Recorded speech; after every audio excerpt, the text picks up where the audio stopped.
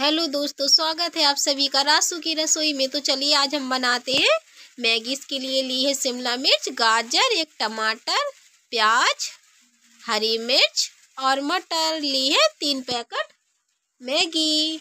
तो चलिए अपनी सब्जियों को छोटा छोटा बारीक काट लेते हैं। तो देखो हमने सब्ज़ियाँ अपनी काट ली हैं।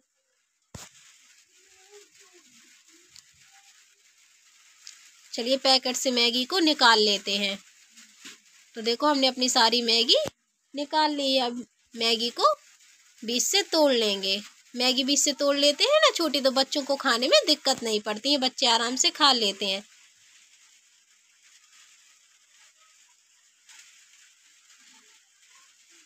तो चलिए अब रखते हैं कढ़ाई गैस पे। तो डालेंगे सरसों का तेल। तेल अच्छे से गर्म हो जाए तो इसमें डालेंगे जीरा और राई। जीरा अच्छे से चटक गए हैं तो अब इसमें डालेंगे कटी हुई प्याज और शिमला मिर्च। दोनों को डाल दिए थोड़ा भुन जाए तो अब डाल देंगे इसमें गाजर और हरी मिर्च। थोड़ा इनको भूंज लेंगे तो अब डालेंगे टमाटर। इसके बाद डाल देंगे इसमें मटर। तो हमने अपने मटर को डाल दिया है। अब डालेंगे इसमें नमक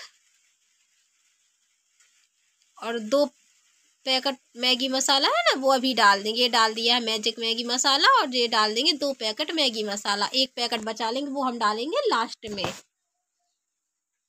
ये देखो, डाल दिया है। अब ये भुन जाए थोड़ा, अब डालेंगे इसमें एक गिलास पानी। तो हम मैगी को अलग से नहीं पकाएँगे। देखना इसी में पकाएँगे और मैगी बहुत ही टेस्टी बनती है। आप एक बार बना के देखिएगा, ये हमारी गारंटी है कि आप एक बार खाएँगे तो आपका बार बार मन करेगा। तो डाल दी है मैगी। बस मैगी दो मिनट में ही पक जाएगी। कहते हैं ना, दो मिनट वाली मैगी। तो देखो, दो मिनट में बन जाएगी।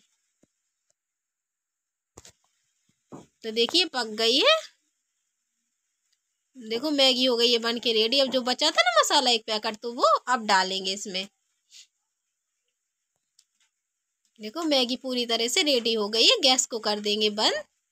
तो देखो कितनी टेस्टी मैगी बनी है। तो इसे निकाल लेंगे प्लेट में। तो आपको आज की हमारी मैगी की रेसिपी कैसी लगी? अच्छी लगी हो तो लाइक एंड सब्सक्राइब ज़रूर करिए। तो खाइए, देखिए कितनी टेस्टी है आप सबके लिए। देखिए हम आपको पास से दिखाते हैं। है ना एकदम टेस्टी। तो आप भी ज़रूर बनाइए। चलिए हमारा तो देख के खाने का मन करने लगा तो हम तो चले खाने। आप भी खाइए और बनाइए। बाय बाय मिलते हैं अगली वीडियो में।